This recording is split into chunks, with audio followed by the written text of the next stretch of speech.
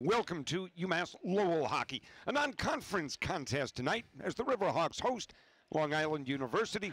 Uh, put in front and picked off, and Andre Lee the other way for the Riverhawks into the attack zone. He fires, save was made. Boy, that shot got on the goaltender very quickly.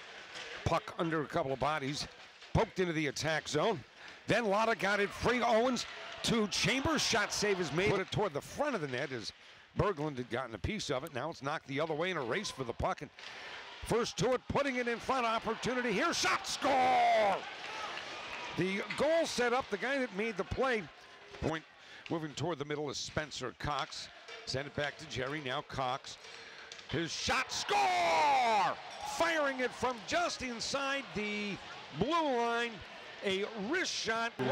Berglund, now blue line, Austin to Brushett, fire, scores! Ryan Brushett puts the Riverhawks on the board with a power play goal. Here's Andre Lee, hot man rush. Lee down the left side toward the net, fire, save, rebound. you ended the ice, the right corner.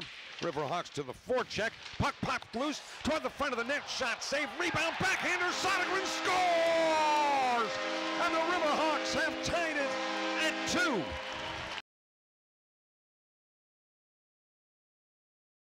Warrants a penalty, and Lowell will take it. Riverhawks on the power play.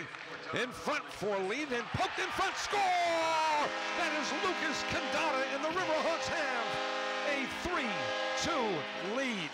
LIU battled right side of the net, man put it in front, shot, score! And we are tied with 61 seconds left on the clock. Area and then knocked out, and that's going to do it. We are going to head to overtime. Now ahead, Brushett. He's on sides, stops, steps around the man, works toward the net. Then the Ingham, shot save. Then McDonald gets the pass, and that'll do it. Time expires. Is